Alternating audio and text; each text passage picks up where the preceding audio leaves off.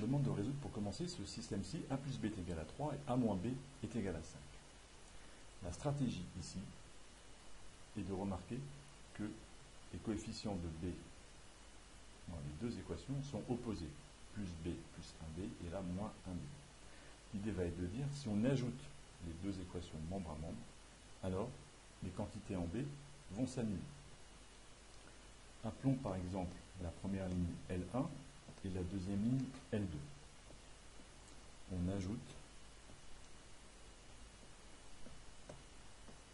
L1 et L2.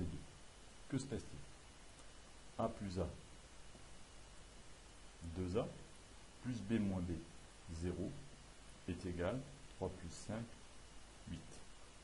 Du coup, A est égal à 4. On trouve très facilement une des premières inconnues. Une fois qu'on a trouvé A est égal à 4, on remplace A par 4 dans une des deux équations, peu importe, admettons L1.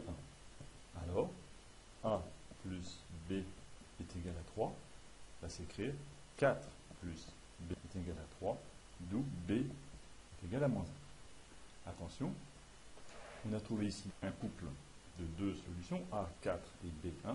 Il faut, en toute rigueur, vérifier. La vérification, eh bien, on vérifie que A plus B vaut 3, donc 4 plus moins 1 est égal à 3.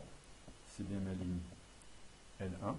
Et on vérifie que 4 moins moins 1 est égal à 5, c'est bien ma ligne L2.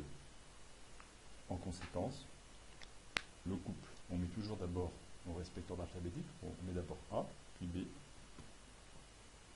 et la solution du système.